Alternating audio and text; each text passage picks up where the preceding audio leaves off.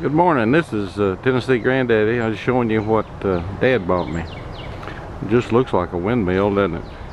Well, the wind stopped blowing. Hang on a minute. Now, you can tell more about it now. Look at it. It's a man fishing in a boat. Thanks a lot, Dad.